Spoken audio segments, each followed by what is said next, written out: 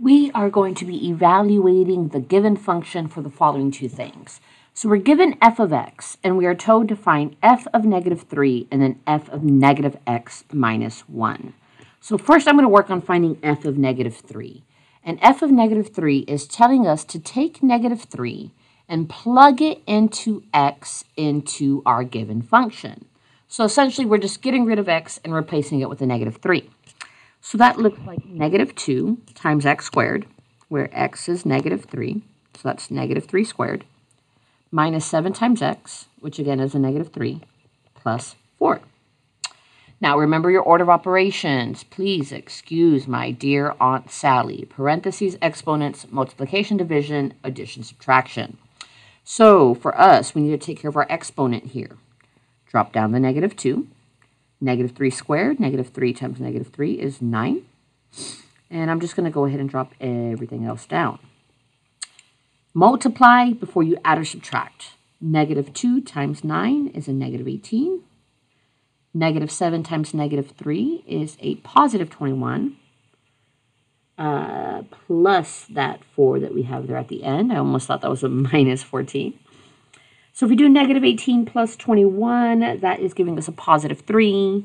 And 3 plus 4 is 7. So f of negative 3 is equal to 7. That would also be counted as a point if we were to graph this. If we plug in negative 3 for x, we get 7 for y. That would actually signify a point negative 3, 7.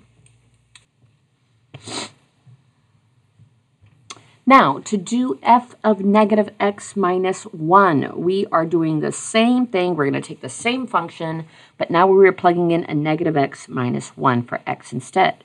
So that is a negative 2 times x squared, where x is negative x minus 1 squared, minus 7 times that x, which again is a negative x minus 1, and then plus 4.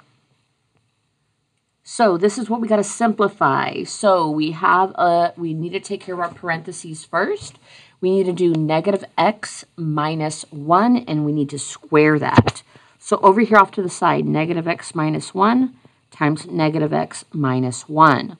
FOIL this, distribute this. I'm going to distribute this. Negative x times negative x. Well, negative times negative is positive, and x times x is x squared. Negative x times negative 1 is a positive x. Now distribute the negative 1. Negative 1 times negative x is a positive x. And negative 1 times negative 1 is a positive 1. So when we combine our like terms here in the middle, that is actually x squared plus 2x plus 1. So I'm going to drop down the negative 2.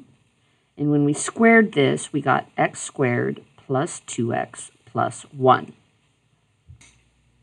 Now we are going to distribute that negative 7. So negative 7 times negative x is a positive 7x. Negative 7 times negative 1 is a positive 7. And I'm going to drop down that plus 4. Okay, let's continue to simplify here. We're going to distribute the negative 2. Negative 2 times x squared is negative 2x squared.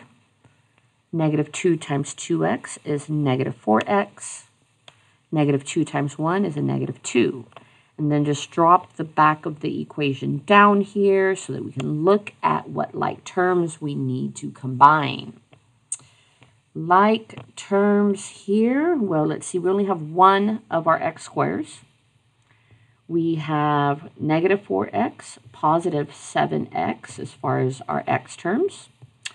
And as far as our numbers, we have negative 2, positive 7, positive 4. So when we combine this all here for the end, drop down the negative 2x squared because it has nothing to combine with. Negative 4 plus 7x is 3x. Negative 2 plus 7 is 5, and 5 plus 4 is 9. So f of negative x minus 1 is equal to that right there.